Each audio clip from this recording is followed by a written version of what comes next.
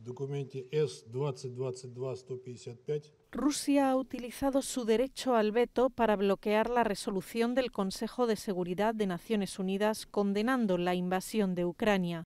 La abstención de China, India y Emiratos Árabes Unidos han dejado sola a Rusia. Let us never forget that this is a war of choice. Nunca olvidaremos que esta es una guerra que Rusia ha elegido. Rusia ha escogido invadir a sus vecinos, decía la embajadora de Estados Unidos en la ONU. El secretario general Antonio Guterres recordaba que la Organización de Naciones Unidas nació de una guerra para poner fin a la guerra. El objetivo no se ha cumplido, pero no debemos rendirnos nunca. Debemos dar otra oportunidad a la paz. Los soldados tienen que volver a sus barracas. Los líderes tenemos que tomar el camino del diálogo y la paz.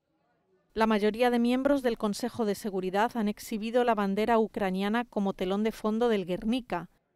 La obra de Picasso está considerada como una de las pinturas contra la guerra más importantes de la historia.